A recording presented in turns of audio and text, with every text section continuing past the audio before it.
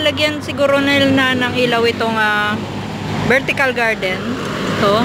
Kasi may mga ganyan, no.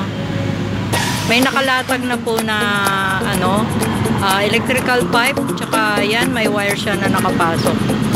So, ipapasukan niya ng wiring.